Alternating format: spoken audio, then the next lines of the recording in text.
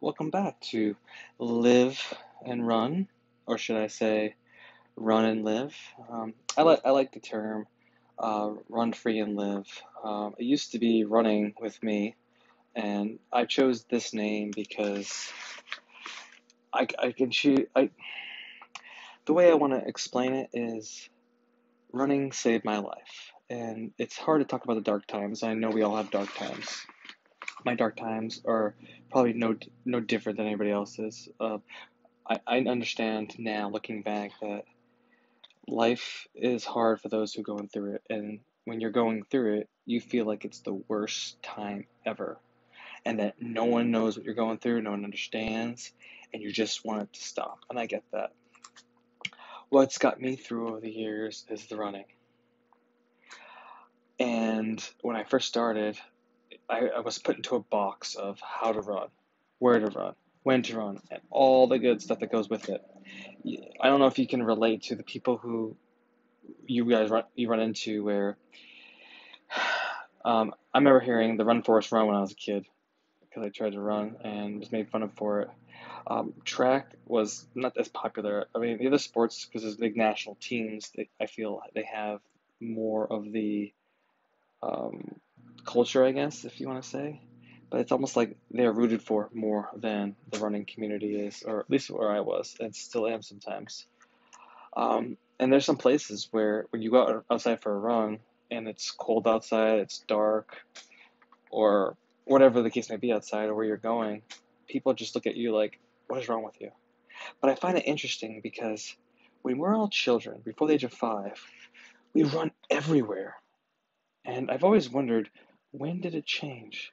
When did you go from loving running kid, go, go, go there, go, I'll race you, and the kid runs? It doesn't matter who you are, you just run. But yet there's it comes an age where it's not the cool thing to run, or oh my god, that's so far, or whatever you want to hear. You hear this, and it's so crazy to me. Anyway, I heard that most of my growing up um, childhood about running, even to the point where I grew up uh, the people that were supposed to care for me, that running is not a sport. You can't do anything with it. Why are you doing it? It's stupid. And you name the words, they used them. All the all the good stuff that you hear. Um, I'm glad to see nowadays it's more celebrated, and at least it feels like to me. Maybe because I try to reach out to these social clubs that actually, or, and people that run, I feel like there's more of a kinship with it but I felt very isolated when it comes to the running community. Even when I started running, when I was in the military, and I started running twice a day, I would run uh, in the morning before formation, and, and actually I would do it before our, our PT sessions because I started noticing during the runs that the runs that we did in the units were not as fast, I should say, because when you start running every day, you get better at it, and the only way you don't get better at running is if you don't really try. If you go out there and just jog, you'll get a little better, but you won't get really good better until you start actually focusing on, okay, today I'm going to run faster. Or today I'm gonna, but if you just go out and jog, there's nothing wrong with it, but you actually be a better runner by doing something and out there j- jogging, whatever it is, than just not doing it. It just happens. And in the military, just like anywhere else, you're going to have people that know they have to do it and they do it, but they relish against it, and they only do it because they have to. And the days that they're not required to, they won't. And there's nothing wrong with that. And I get that. There's people out there like that, and that's fine. You do You should do you. I get that. So for me, I would run before, and then I would run the run with the group. And then what happens is I would run in the evening. The evening wouldn't be as much as the morning, but I started noticing that I would run about 15 miles a day at one when I started actually putting together. So I was probably putting in. Um, I, I took one Sundays off, so if you think about 50 miles a day, that's probably close to what 80, 80, 90 miles a week, roughly, give or take. But I've been realizing it. I just wanted to get out there, and this is where I lost my my 80 pounds over six months in my first deployment uh, because I was that's where I started. But I was known as the run guy. You're that guy that runs all the place because they would see me just out there doing it. I would just be I would just go. And you would think that would have started this whole train of, well, you, this, this is over 10 years ago. um, that that would be the catalyst and that would be the start and spark of somebody who went far and did great things running. Nope, that's not what happened to me. I went down the rabbit hole of addiction, self pity. Uh, I, I've been to rehab twice, uh, lost everything, where I became homeless, and I actually uh, um, the attempted suicides were multiple out there, and just the thoughts and just the planning of the, the actual suicide itself, uh, which is not pretty. Those all happened in the, in the span of these last 10 years. And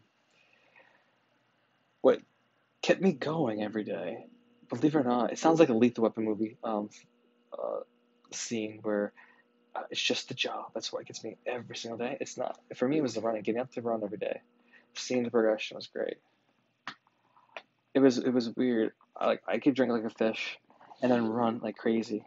Um, I can't do that much anymore, um, maybe because now I'm so healthy that it's different. But I, I remember getting getting a bottle of wine and sharing it with somebody else, and I drank most of it. And then next day running a 10 mile run, a little dehydrated, but able to do it.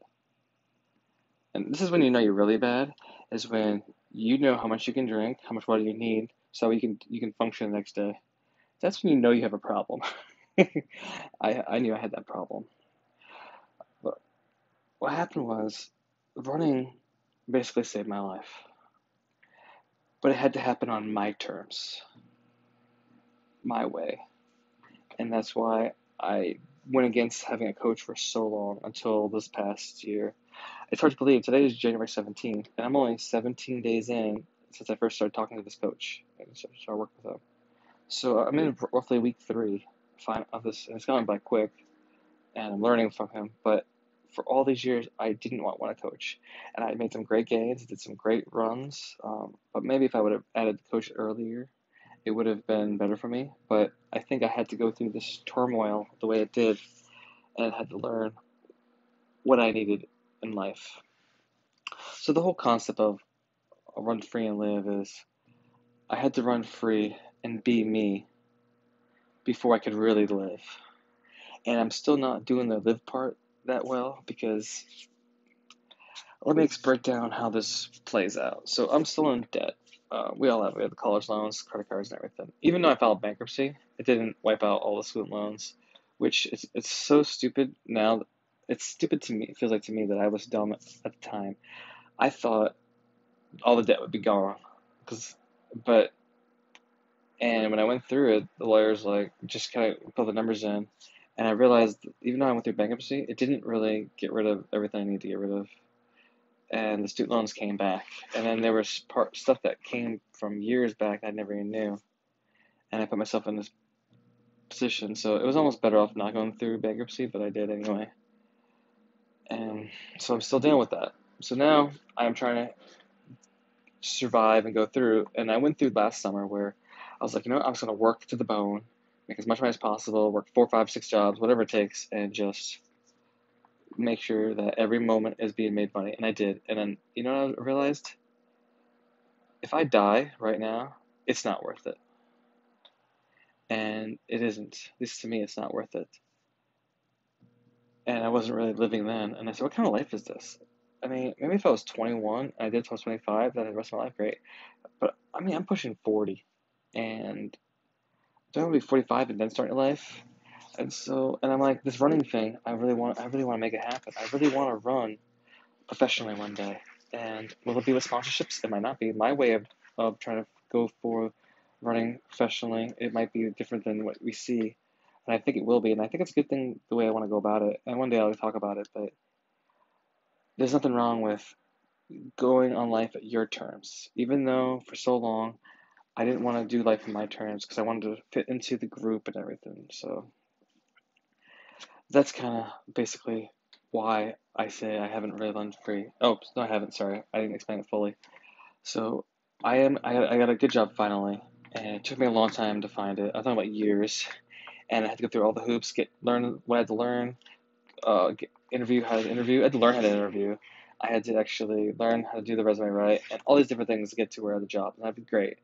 And I find that when I'm not busy, I tend to want to spend something. We all do. We want to eat or something, right? So I keep all my stuff stuff together. Sorry, how to keep all my stuff together is just stay busy all week long, and know that if it's a year or two or three that I have to get rid of all the debt that I, I have, I can do it. But you gotta keep every single moment working. So my day starts like this. Uh, 2.30 or 3 a.m. is a wake up, depending on how the run is. I get up, I have, to, I have to warm up, wake up, whatever. It's about roughly about a 45 minute stretch, full body, before I do anything, because that's what my body needs to get going. I feel like I get better when I do that. The workout's better, the run's better. And then it's the pull up, push up workout, and then the run. The run could last a few miles, up to maybe a mile and a half or two, depending on if it's long run or not. And then when I come back, I do a half hour stretch down. That can last three hours or four hours, depending on the day. Which is why 3, see 3 a.m. at 7 a.m. I gotta be at work for 8. Plus, you have to shower, get yourself to eat, go, travel to work, all that fun stuff. Then I'm at work all day. And at the end of, the, at the end of work, uh, it could be 5 o'clock, it could be 6, depending if I have to work late. And then I have a college class that's required by work. Um, so good thing that they're paying for it. That's two hours in the evening that's required that I put into the college class. And then it's bedtime. That's my day, Monday through, through Friday. Saturdays, I get more leeway because I'm not at work, which is great.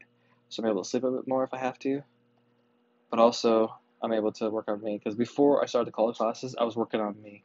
So for the past five months or so before this college class started, I was taking those two hours at the college and I was working on me. I have the books I've been reading. I've been doing journaling. I started meditations, um, exercises to kind of control my brain, different ways to live. And now I feel like I'm actually living a little better. I still feel like I'm existing, not living fully, only because I don't, I'm not doing what I, what I want to do uh, with runs. Um, would I do this job if I didn't have to? No. But then again, how many people out there do the jobs because they want to? Not everyone does. A lot of us do the job because we need a paycheck. Um, one day, I hope that this running will take over, and I can switch over, and the running thing is my is my job, and then things that come with running, whether it be, I don't know what's gonna be. I'm thinking like the crazy thing like, like appearances or speaking or writing or whatever it is. Maybe that's maybe it's none of it. I don't really know what's gonna happen, but maybe that will maybe something different. Because if you love what you do, if you do 12 hour days of it, you don't care because it doesn't feel like work. Right now, work feels like work because it's like there are times like I don't want to do this, but I have to, and I do it. So that's kind of why I feel like I'm not really living, but I'm getting there to where I want to live. And now I'm actually putting all the energy and effort. I know this has been a long winded about the run free and live, but this is basically why I call it run free and live. Run free to be me, do things my way. Um, not saying like my way or the highway, but like be who I am, not lie, not cheat about it, not try to hide who I am, but be truly me. Run the way I have to. And also, that comes with the price. If I want to make the elite teams, I have to do what's required of us. Not everyone can put the workouts in. Does everyone stretch? No. Does everyone do the recovery? Like it's either ice bag, cryo chamber, uh, Normatec fits, uh, massages, uh, all this stuff costs money. I'm actually putting the money into it. Yes, I have this debt I have to pay, and some some people out there would say we should pay the debt first. I think, well, I would like to make this thing work, so I figured out a plan where the debt will be paid off in a certain period, but I can do all this as well, and this co- all the cost money, and I have it out. And this is, for me, I have no family, uh, no wife, no children, none of that. So I don't see it's anything else. It's there's no point of just, just being in a cave and just getting the money and just trying to survive and then live life eventually when the winter's over and the money's all, all gone and then I can actually enjoy life. I'm going to try to make my life my life. I don't know how many people I've met who uh, started a business or started their own journey and they, they put they put the far on, they put everything credit cards and everything and they were just all they were so they were bankrupt and everything and then they finally made it and now they're doing great they didn't sit there in a cave and try to save every single penny. I'm like, what kind of life is that for 10 years, 20 years, 30 years?